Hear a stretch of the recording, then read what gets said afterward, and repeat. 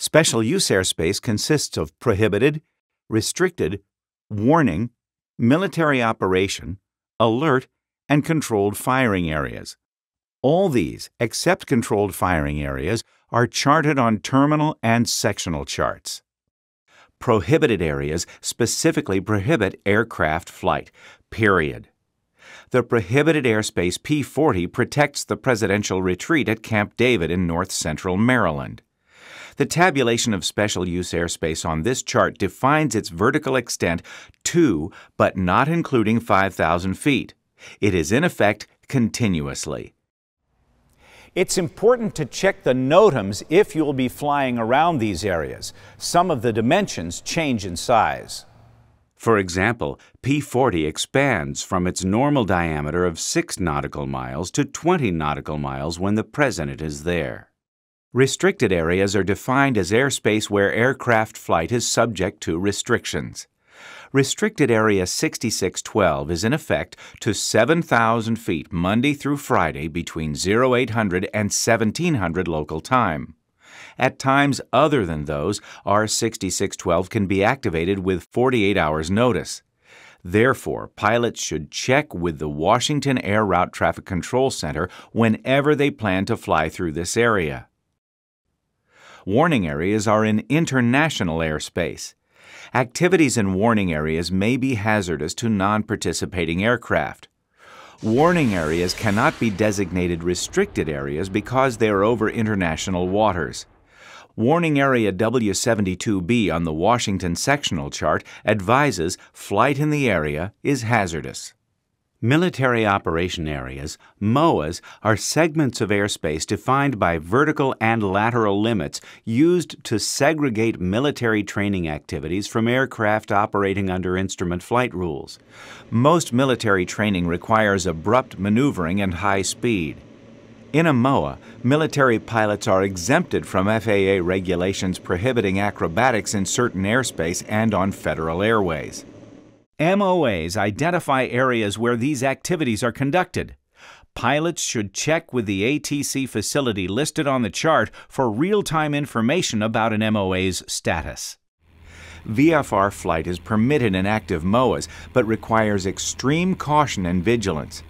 IFR flights will usually not be cleared to fly through an active MOA.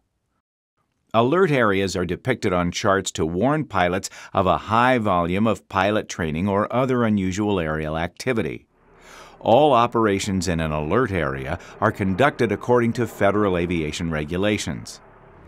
Pilots of participating and transit aircraft are equally responsible for collision avoidance.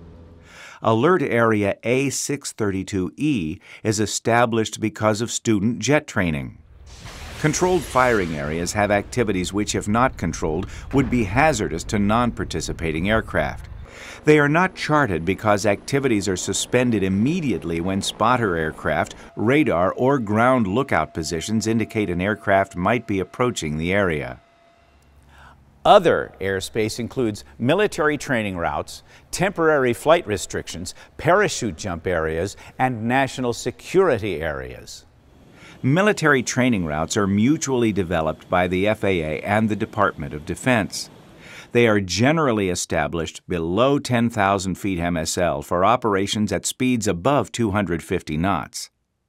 Terminal and sectional charts show MTRs used under VFR as VR, and those flown under instrument flight rules as IR.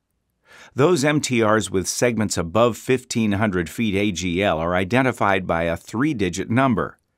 MTRs flown entirely below 1500 feet AGL are identified by a four digit number. Although pilots are not prohibited from flying on a military training route, you should be extremely vigilant when flying on, across, or near an MTR. Temporary flight restrictions may be imposed to protect persons or property in the air and on the ground. This may be to provide a safe environment for disaster relief aircraft and prevent an unsafe congestion of sightseeing and other aircraft in the area.